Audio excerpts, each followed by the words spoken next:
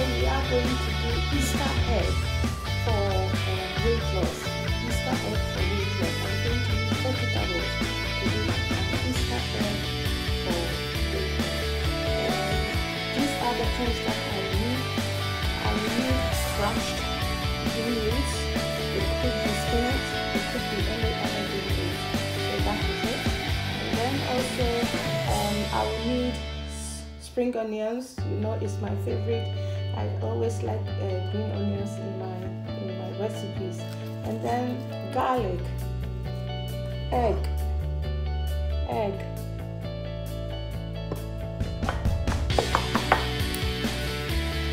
Flour.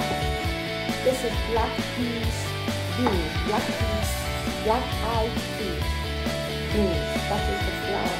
Just a half,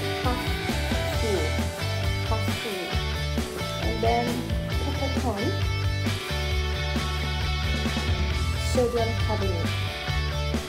Those are the ingredients for today's um, recipe, and it is Easter egg for weight. So enjoy.